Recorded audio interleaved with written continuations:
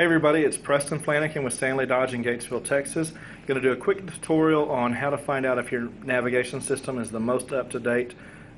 What we want to do is get online and go to driveuconnect.com. Once we've opened up that page, we need to look in the upper right hand corner for where it says help and support. There we go. And we're going to click on that and then scroll over, move the cursor over to select a brand. At this point, it doesn't matter which brand we choose, but uh, so what I'm going to do is choose the Dodge brand. Now we go down to the lower right hand corner on this page and we find map updates and we want to click on map updates.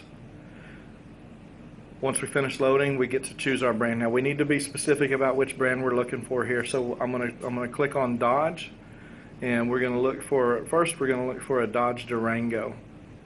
And so there's a Durango and we want to now it's going to ask us for our year, prompt for the year. We're going to choose a 2014 Durango, and we get a map that in, or message that indicates that there is a map update that is available. All we need to do now is follow the instructions to download. Going back, we're going to choose a different vehicle this time, a Dodge Charger, and I'm going to find a 2015 Charger. And we get a message that indicates that we have the most recent map update. So as you can see, it's a very easy process to find out if your maps are the most recent ones for your navigation system.